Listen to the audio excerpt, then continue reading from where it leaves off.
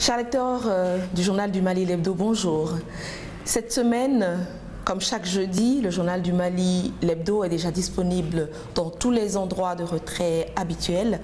Et comme vous avez certainement dû déjà le découvrir en une, nous consacrons notre événement à Cheikh Modibo Diarra, l'ancien Premier ministre du Mali, qui revient avec nous sur cette période particulière du Mali, qui a été la transition, une période dont il a été un des acteurs majeurs. Il nous parle également de ses ambitions, de ce que prévoit son parti pour les mois et les années à venir, bien entendu, de sa vision pour le Mali.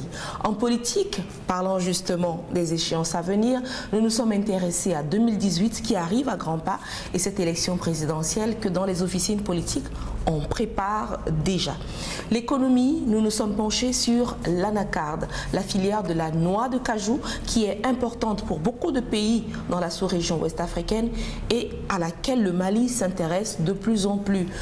Une organisation de cette filière est en cours. Vous découvrirez un peu plus ce que contient donc ce potentiel de la noix de cajou pour le Mali dans votre numéro de cette semaine. L'actualité internationale est en partie consacrée à ce procès de Hissène Abré qui se déroule au Tchad, un procès au cours duquel l'ex-raïs tchadien devra donc euh, parler. C'est ce qu'on attend depuis le début de cette procédure et les victimes qui attendent également que justice leur soit enfin rendu.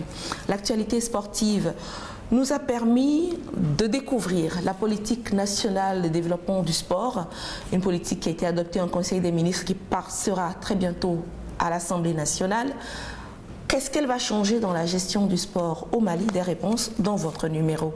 Et en page culture, je vous le recommande particulièrement la découverte d'un très beau livre consacré au premier président du Mali, Modibo Keïta, un livre édité à l'occasion de son centenaire par la maison d'édition Coris Édition. Tout cela et bien plus encore dans votre numéro 44 du 11 au 17 février 2016. Très bonne lecture à tous.